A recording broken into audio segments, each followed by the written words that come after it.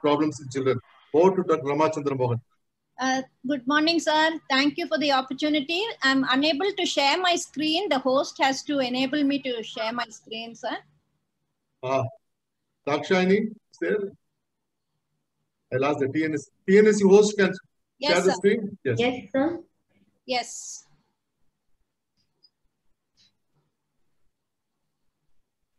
Ma'am, you can now share your screen, ma'am. Good morning. Yeah. Uh, my screen is visible. Yes, ma'am. Yeah, yes. Uh, good morning. A very warm welcome to all of you, my dear uh, friends of uh, IAP CCB. Uh, a topic uh, which I haven't, uh, en- uh, you know, confronted earlier, and most of us uh, are not very familiar with managing behavioral problems. So conveniently, the topic which is given to me is just how to pick up uh, behavioral problems early in children. Uh, so uh, we'll, this is going to be the scope of my talk.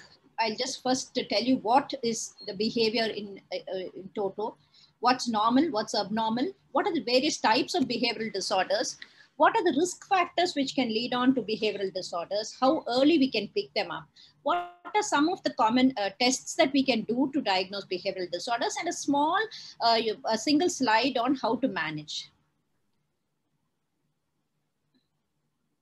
So now we know that behavior refers to how children conduct themselves. So whatever their actions are, re- reactions and functioning in response to everyday environmental situations. That is what is behavior.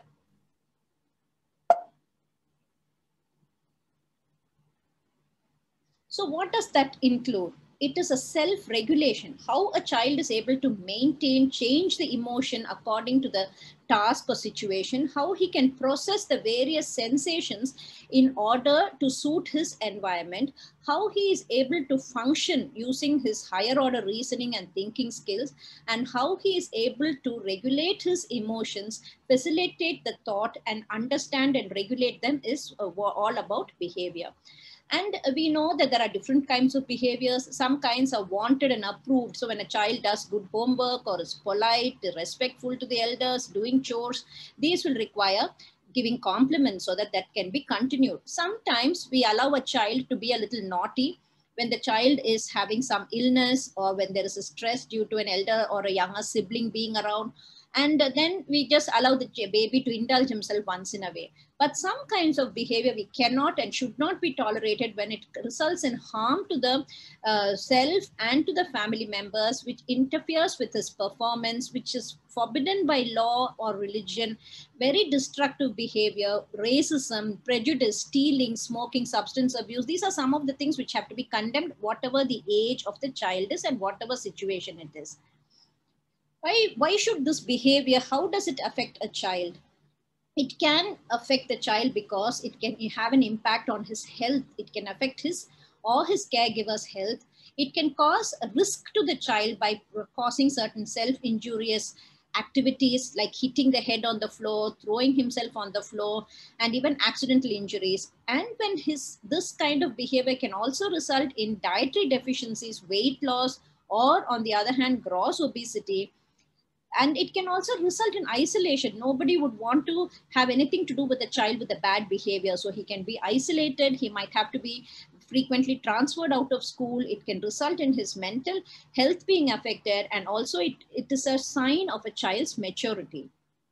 And so uh, summing up all this we know that when the child is naughty for a short time defiant impulsive behavior and all that he loses his temperature so I'm sorry, uh, loses his temper and he's deceitful once in a way, that is accepted. But uh, when this, so when this becomes unpredictable, prolonged, and resulting in destructive tantrums and severe outbursts of temper loss, then we call it a challenging behavior. So these are the questions that we will have to ask when we are confronted with a child with a behavioral problem. So is that observed by more than one person? What is the rate, frequency, intensity, and duration of this occurrence? Does it occur in more than one setting? Is it is there a predictable pattern to his behavior? Does this behavior affect others? Is it identified as a concern? So when you are going to do it on a questionnaire, does this come as a concerning behavior? These are the things that we have to see. So then we will, these are the criteria by which we decide whether this is a severe behavioral disorder or a mild one. What are the precipitating events? Is it destructive? Is that appropriate for his maturational state? Is that affecting personal functioning, social functioning? What reality index, insight index? Is there conscious control? And what is the social responsiveness? Based on all this, we decide whether this behavioral disorder is mild or severe. These are some of the common uh, emotion, I mean, behavioral disorders that we see. And I have not taken up habit disorders like thumb sucking, uh, head banging and all that, which occurs in smaller children and most of them it is transient. So these are some of the behavioral disorders that we common see, commonly see in children, obsessive compulsive disorder, anxiety, depression, um, oppositional defiant disorder, conduct disorder, ADHD, developmental disorders or pervasive disorders. So we can classify them into internalizing disorders or externalizing disorders. Internalizing disorders are like depression and anxiety.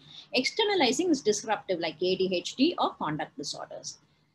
So these signs or characteristics when they have problems with adults, family, relationships, peers, and social skills, and it can they can demonstrate in the form of hyperactivity, aggression, distractibility, depression, and suicidal tendencies, etc. So how many uh, percent of children can have this um, whopping number of 10 to 20% of children and young persons may be affected by emotional and behavioral disorders. And these rates are not very different. They are similar across different racial ethnic groups in, uh, in the various countries that they have been studied. Even when you control for income, their uh, socioeconomic status, education, etc. And of course, poverty and low socioeconomic status are major risk factors which will increase the number of behavioral disorders across the populations. So a quick look at the various dis uh, behavioral disorders. An oppositional defiant disorder is one where your child is easily angered, annoyed, gets irritated, throws temper tantrums, frequently argues with people who are close to him, especially his parents. He doesn't obey rules and he tries to irritate others. He has a low self-esteem and a low uh, frustration threshold. Anything can trigger him in a conduct disorder, these children are the potential, you know, kind of juvenile delinquents. These are called uh, bad kids, and these the male to female ratio is four is to one, and one of them, uh, one third of them may have an associated ADHD.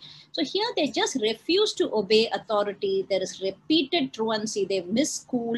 They tend to use drugs. They do not have any empathy for others. They tend to uh, be aggressive or sadistic towards animals they're very keen to pull up fights or use weapons so as i told you these are all a tendency to show that they will definitely uh, lead on to criminal behavior in a later age so ADHD is another condition where you have about 2 to 5% of the children showing behavior uh, symptoms of ADHD in the form of inattention, impulsivity, and overactivity. So we know that these should be present for at least six months in two different children, two different settings, and usually uh, above seven years of age. Autism spectrum disorder, we know that it is a kind of an epidemic. We're seeing more and more children coming with symptoms of autism. This uh, is significantly uh, shows a qualitative impairment in social interaction and communication with stereotype patterns of behavior, interests, and activities. Then a quick look at uh, two uh, internalizing disorders like depression, where the, there is it's called um, anhedonia where the child is unable to unable to experience pleasure in all or any of the activities in is um, affect is um, part of. He's always seen with a depressed mood and there is a disturbance in appetite and his sleep. Anxiety related disorders we are seeing them very often these days especially in adolescents where there is distress tension or uneasiness going with fears and worries so now, these are some of the things that are indicators of potential problems. A child is always having a low concept. He's not able to get along with his peers. He's not able to have a comfortable relationship with teachers, parents, and other authority figures. There are signs of emotional problems. There is deficit in speech, so he's not able to communicate he's not having a relationship which is temporal with his peers and there is difficulty in auditory, visual perception, reasoning. So uh, reasoning and computational skills and a basic motor skills as well. And in addition, as I told you, he's not able to use his judgment to carry out tasks. He does not have sensitivity with uh, towards his um, uh, co-workers. There is difficulty making and uh, sustaining uh, friendships and family relationships, constantly having problems in school. So now, uh, so having uh, said all this, now let's look at who are those people who are liable to have um, behavioral problems. So we know, as we have seen earlier, boys are much more likely to suffer from behavioral disorders. We do not know if there is something to do with their genes or it is because of the way they've been brought up gestation and birth, difficult pregnancies, preterm babies, low birth weight, they all have problems with behavior later on in life. And anything which affects the mother's maternal health uh, can also have a big impact on these children. maternal depression, low uh, socioeconomic status, smoking, and alcohol abuse. Mother herself is an antisocial personality with uh, you know teenage pregnancy, marital conflict, and domestic abuse, and all that and the child's temperament has a very big bearing on the child's further behavior.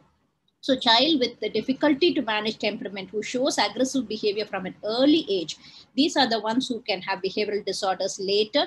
Irritability, temperament and anxiety symptoms before the age of three years are predictive of later disorders. So if they have a very uh, disordered relationship with the parents, again, as I told you earlier, and disharmony in the parents' um, uh, upbringing. So the type of parental limit setting so we know that very strict parents can also result in the child having behavioral problems or very lax or passive parenting where the parent allows the child to do anything he wants. That also can result in behavioral disorders. So earlier the onset, definitely a greater chance of this child showing uh, significant symptoms later. And even passive smoking is supposed to have resulted in behavioral problems. Um, and uh, again, uh, same, there's a repetition of a, a, dysfunctional family life, learning disability. So when the child has a learning problem, is looked down upon by his teachers and his uh, student, you know, his classmates, then they will manifest with behavioral problems. Of course, intellectual, any child who's frustrated and is not able to get along with his peers will manifest with behavioral problems. And there are, brain has been shown to be affected significantly in children with ADHD, may not be with the others, but these children have had mapping done and they found that there are babies, children having problems in their brain when there is an ADHD. And um, uh, uh, as, I, as was shown in the very first slide, across the populations, we know that community, uh, wherever there is poverty and low socioeconomic status, wherever the child has to fight for his rights, what is when he does not get what is due to him, like the other better uh, children are getting, then they have uh, behavioral problems. And uh, you know, more, added to it are all the domestic problems also that this child children have to face. So now it is not just that you find out, okay, this child is behaving badly. Okay, he's having a behavioral disorder. Let him, let us refer him. No, it should come from different sources. So it should be, even if the parents are complaining, we should also get a feedback from the teachers, from the caregivers, from his classmates or some professionals. All of them together will have to put in their inputs. Only then we will come to the diagnosis of a behavioral disorder. We would never like to brand a child with having a behavioral disorder with just one or two uh, sessions sessions. So we observe him over a period of time because parents generally will have the tendency to give a bad, worse report than a teacher okay so we try to rule out whether that particular time this child had anything which worsened his condition. Only then we will have to uh, come to the diagnosis. So we need to have a pediatrician a psychologist or a child psychiatrist in the group with in-depth interviews with the parents uh, children and teachers and with sufficient questionnaires which are validated so that we can confirm our diagnosis. So these are some uh, questionnaires that uh, are very commonly used I'm not going to go into the details of these. Uh, and these are what is used throughout the world, like strengths and difficulties questionnaire, uh, behavioral and emotional screening system for those uh, who are interested. Ages and stages questionnaire, this is very popular, and uh, a child behavior checklist. Most of our uh, behavior questionnaires are based on this. Denver itself can do it. Development behavior checklist. Let's quickly look at each of them.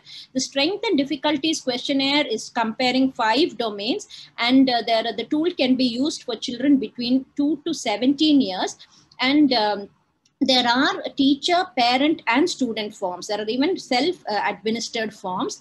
And uh, among the Indian tools, we have the development psychopathology checklist. So, this is by NIMHANS. And then we have the INCLIN tool for ASD and ADHD. Then we have the behavior assessment system for children. So, here again, it can be used from preschool up to 12 years. And uh, it is based on all the domains of behavior this uh, NIMHANS uh, tool, which I told you, has 124 items and six subsections. And uh, this is what is being practiced by our uh, psychologist in um, ICH. And this is uh, the most popular among all this is the ages and stages questionnaire, which is uh, downloadable from the net. And it can be used in children from one month to five and a half years. And uh, this child behavior checklist is another one which is uh, commonly used and it uh, will pick up almost all the, you know, behavioral disorders from aggressive behavior to depressed behavior. Then uh, we have the child behavior checklist having 113 questions. Here, this again is parent administered. It can be done within 10 minutes and um, uh, you can uh, get the result within about 10-15 minutes based on the, the parents' inputs and it also has to be corroborated by the teacher and by the psychologist. So this is the simplest of them. This is the Denver tool that we regularly use in our development uh, clinic. And here, if you see this corner has a test behavior. Okay, so here, if this is, uh, you find that on three visits, here you say one, two, three. It At every visit, you find that this child is showing fearfulness or non-compliance or the child is not able to maintain his attention, then at this, with a simple tool like Denver itself, you can suspect a behavioral disorder, which has to be further confirmed by a psychologist. Yeah so these are all the various tools. I know there is no point in talking about them because none of us are really familiar with this. This is all administered by the psychologist but the simplest of all the that we can do is either an ages and stages questionnaire or the denver that can pick up uh, the behavioral problems early. So now that we know that this child is having a behavioral disorder, what, what are we supposed to do?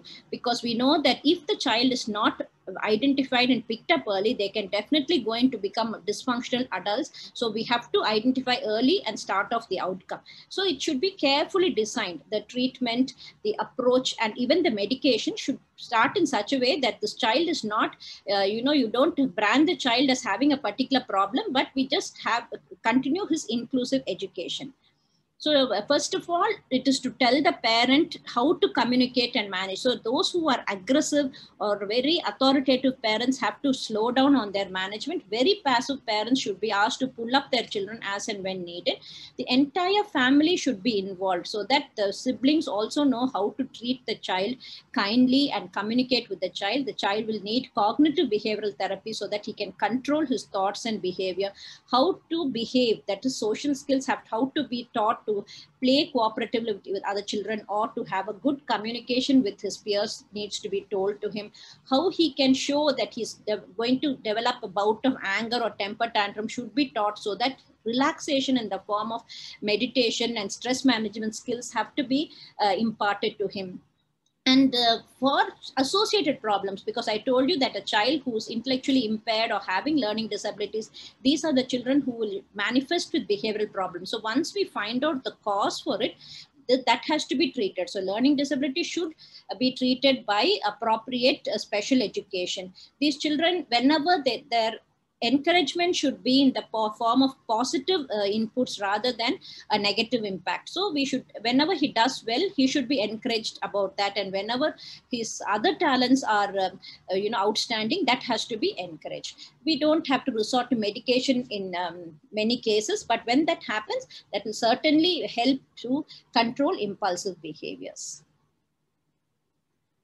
so with this, I, uh, I uh, complete my talk and I would just like to say that early identification and early intervention is the only way we can make these children useful members of the uh, community. Thank you.